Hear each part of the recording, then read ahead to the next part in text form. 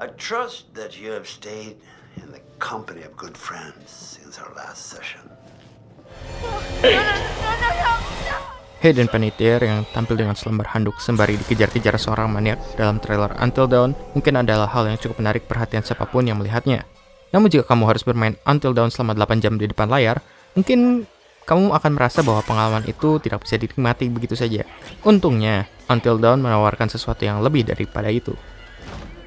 Dalam Until Dawn, kamu akan memainkan 8 karakter yang memutuskan untuk menghabiskan akhir pekan di sebuah rumah terpencil di atas gunung. Diceritakan juga bahwa setahun sebelumnya, sekelompok pemuda-pemudi ini mengadakan kegiatan yang kurang lebih sama. Hanya saja, dengan 10 orang. Hannah dan Beth Washington menghilang dengan misterius pada kejadian setahun lalu dan meninggalkan banyak pertanyaan. Kedelapan karakter ini hanya ingin bertemu kembali pada tahun ini. Sayangnya, yang mereka dapatkan adalah sesuatu yang jauh lebih daripada itu. Until Dawn pada dasarnya merupakan game horror dengan banyak pilihan di dalam dialognya. Jika kamu pernah bermain The Wolf Among Us, maka Until Dawn terasa kurang lebih sama. Hanya saja dengan pembawaan genre horror. Kamu akan berjalan ke sana ke sini, mengumpulkan petunjuk, dan menonton cutscene yang bisa dibilang jumlahnya sangat banyak. Namun, mungkin sedikit tidak adil jika membandingkannya dengan The Wolf Among Us, karena Until Dawn menyediakan banyak pilihan dengan konsekuensi yang benar-benar nyata. Dalam Until Dawn, Butterfly Effect menjadi tema dan gameplay utama yang akan kamu temui.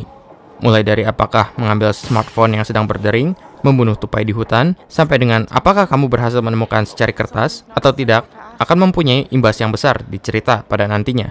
Tidak semua pilihan yang kamu ambil akan berakibat besar. Ada juga pilihan yang memiliki imbas yang tidak penting, ataupun memiliki imbas yang penting namun masih bisa ditangani. Ada pula saatnya kita tetap dapat menikmati cerita dalam game ini tanpa terus memutar otak atau terlalu khawatir apakah sebuah pilihan akan mempengaruhi ending dan segala macam hal lainnya. Kualitas permainan seperti ini adalah yang membuat Until Dawn menjadi sebuah game yang unik. Inti dari Until Dawn adalah selamat hingga subuh tiba. Selamat dari apa?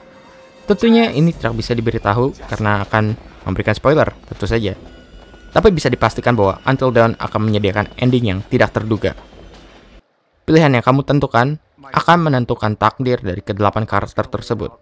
Bisa saja mereka mati, hidup, atau hanya sebagian saja yang selamat. Ini juga yang menjadi nilai jual utama dari Until Dawn. Permainan pertama akan membuatmu bermain sesuai hati nurani. Namun, setelah permainan selesai, kamu akan tergoda untuk menyelamatkan semua karakter. Beberapa karakter di Until Dawn bisa dengan mudah diselamatkan di kejadian tertentu, namun kebanyakan mereka bisa selamat karena beberapa kejadian. Terkadang satu pilihan di tengah permainan dan satu pilihan di akhir game bisa menentukan nasib mereka. Karena hal tersebut, kamu tidak dapat menunjuk dengan jelas di titik apa sebuah karakter dapat diselamatkan. Jika harus jujur, Until Dawn adalah game yang menyeramkan dan mencekam. Beberapa orang mungkin akan membutuhkan beberapa waktu dulu sebelum bisa memainkannya untuk kedua kalinya.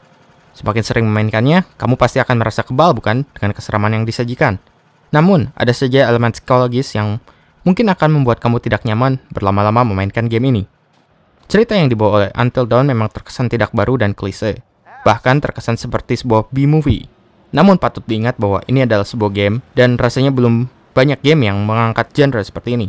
Pastinya hal ini telah disadari oleh sang developer, sehingga mereka nampaknya memastikan ada sesuatu yang lebih dari Until Dawn. Until Dawn diisi beragam karakter yang memiliki karakteristik yang umumnya ditemui di film horor berdana rendah. Namun karena kamu berperan menjadi mereka, maka kamu akan merasakan sesuatu yang cukup berbeda. Cerita dalam game ini akan berkembang dari pertengahan cerita hingga akhir, dan kamu akan menemukan banyak sekali elemen baru dalam game ini. Terlalu banyak, bahkan. Panjang gameplay yang tidak lebih dari 8 hingga 12 jam ini terasa cukup pas, jika kamu mainkannya dari jam 10 malam, mungkin kamu akan bisa menamatkannya pada jam 5 pagi. Ya, sesuai namanya, Until Dawn. Apa yang membuat Until Dawn seram adalah kita tidak benar-benar tahu apa yang sedang kita hadapi, hingga benar-benar bagian akhir cerita dan itu akan membawa kita ke dalam roller coaster emosi. Jika kita diberikan waktu untuk menenangkan diri, maka kita akan dikejutkan dengan adegan selanjutnya. Jump scare dalam Until Dawn juga terhitung terlalu banyak, dan kebanyakan di antaranya bukanlah sesuatu yang menyeramkan. Namun semakin lama kamu memainkannya, jump scare yang ada akan semakin berkualitas. Pilihan dalam momen menegangkan juga cukup memberikan beban mental yang berat. Pengambilan keputusan ini akan membuat kamu meringis dalam hati. Until Dawn adalah sebuah game yang bisa dinikmati ketika dimainkan. Banyaknya ending bisa membuat kamu penasaran, dan berbagai unlockable bisa mendorong kamu untuk memainkan game ini lebih dari satu kali. Yang pasti, disarankan untuk menonton film yang ceria, lucu, dan menyenangkan sebelum kamu mencoba kembali mendapatkan ending sempurna di Until Dawn. Game ini sangat direkomendasikan bagi kamu semua yang gemar bermain game before.